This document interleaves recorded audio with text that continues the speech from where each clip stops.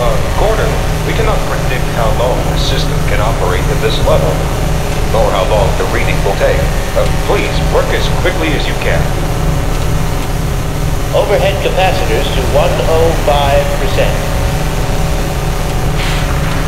Uh, it's probably not a problem. Probably. But I'm showing a small discrepancy in... Well, no.